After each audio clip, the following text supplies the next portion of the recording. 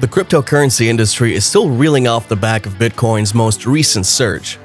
We can only say, wow, this was unprecedented and it's still pretty shocking. The beginning of this week saw the price of Bitcoin fall off its previous high of about $33,000 to about $29,000. That's about 4,000 off the top. Some analysts had the foreboding that the price fall wasn't done yet, while some were pretty optimistic it wouldn't fall further. But no one predicted this much of a surge as it rose as high as $35,000. That's about 6,001 solid move, and it has reportedly consolidated at that value. You can't help but smile while thinking about what this means to the crypto industry at large. Today we'll be looking at the vital signs of XRP, whether you should buy, keep, or sell. If you're watching a video on this channel for the first time, like and subscribe right now, or you're gonna have terrible luck in cryptocurrency for the next week. Let's get on with the video.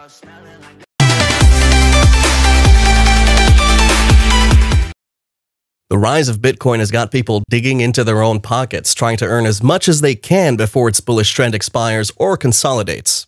This degree of bullish run far exceeds the one we've seen in the past.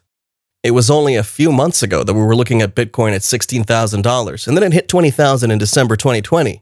It fell back and then rose again to 23,000 and then 25,000. January 2021 has seen the price of Bitcoin rise about $10,000, which is about 40% increase from its closing price in 2020. Other altcoins, namely Ethereum, Ripple XRP, Litecoin, Bitcoin Cash, Chainlink, Tether, etc., are not hitting the headlines as much as Bitcoin, except Ripple XRP, of course. This rise is coincidental with the current events surrounding Ripple XRP. Technically, as things seem to worsen for XRP, it just keeps getting better and better for Bitcoin. The SEC landed a bombshell on the cryptocurrency backed by Ripple Labs. The company runs a payment system that is renowned among some of the world's biggest financial institutions who are technically the beneficiaries of its exclusive service. Ripple stood out of the bunch when it aimed against the run of other cryptocurrencies by using its decentralized currency to work in favor of centralization. How? Well, it's no news that Ripple and XRP work together to help organizations such as banks operate much better. At the start, it seemed as if XRP was sort of being antagonistic of an industry in which it is a member. It was suggested that Ripple XRP was going to be the bad egg of the group. It was supposedly handing power to financial institutions that hold custody of fiat currencies. The ideology behind every cryptocurrency industry was to dethrone the expensive and pretty burdensome fiat currencies for a more standardized digital asset that would ultimately offer more access, easier transactions, payments, and currency conversion. Ripple XRP must have been deemed counterproductive and thus might have made it seem all the less adopted. Unlike most other cryptocurrencies that we see today, Ripple XRP has been in the works since 2012. It was a cryptocurrency that merely served as a medium of transaction in the rendering of cross-border payments. Now, how does this work? In making payment from one part of the world to another, the currency of the sender, say euros, is converted to its equivalent in XRP. And then in a matter of seconds, the XRP is sent to the receiver as XRP, but the process then converts to the receiver's currency. That's pretty much the basics of the transaction aspect. It offers one of the swiftest methods of making payments, directly challenging SWIFT, which is the oldest platform being used by most of the world's banking system. Ripple is dangerously close to becoming numero uno of payment systems that the world is depending on. How soon XRP will rise heavily depends on how much it improves its adaptability. That is, it needs to grow in the number of users and industries ascribing to its services. It's believed that the more Ripple products are used to facilitate transactions, XRP will be considered as the crypto being used. This business model, though, leaves no room for a long-term wait to appeal to the interest of individuals to start using the coin for transactions. This would ultimately take time and even more stress and may not even work out well enough for the cryptocurrency. Although the model is ever dynamic with the growing desire of people to make cheaper and faster transactions without the hassle of heavy documentation or long waits queuing in banks to make transfers to other countries. It also does a good job of keeping up with other cryptocurrencies. It's pretty much the most feasible of all, with it having the potential to facilitate the transactions of other cryptocurrencies as well. The growth in other cryptos is bound to be reflected in the XRP crypto itself. It is a multi-dimensional tool left completely subject to the hands of investors in the cryptocurrency. If other altcoins are enjoying any form of attention out of the current state of the cryptocurrency industry, Ripple XRP can't affirm that. It's not hard to see why. After all, it is staring down the barrel of a gun aimed at undermining its existence.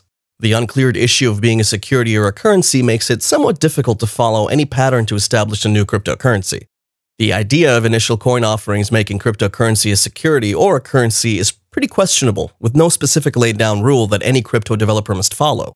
The very idea of decentralization is being threatened, especially if the cryptocurrency has to be registered with the SEC before. Instead, it becomes a stable coin bullied into some rather appalling situations. Now to the question of whether you should buy, keep, or sell XRP. There is no reason to panic over the XRP price. Things are pretty much still going on track with the coin. The company is still going about its regular activities. Since the year began, it's business as usual with XRP, and Ripple as the payment system still makes use of XRP to facilitate transactions. While still maintaining its cheap and fast network, and with the pandemic persisting in the world, more banks are expected to adopt Ripple as a viable transaction system as they look to surpass the old SWIFT platform. Additional partnerships with big banks and financial institutions are also expected to increase XRP beyond its current levels to around 60 to 70 cents in 2021.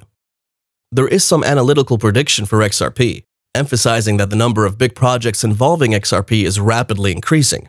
It is strongly believed that with the increase in the adoption of Ripple's technology, the price of XRP will soar. The truth remains that XRP is down but not out of the picture. As is normal with any cryptocurrency, this represents the best time to buy. With the price looming at 22 cents, which is about 48 cents off its high in December 2020, and some people adopting a fast sellout principle, many XRPs are waiting to be bought at cheaper prices, and you can avail yourself of this rare opportunity. Choose to buy and hold the crypto while you wait for it to rise significantly. XRP, like we said, is not good news for short traders at the moment, especially those who are looking to make a quick buck off the top. It has steadily built itself into a lasting bullish setup despite its recent drop from grace.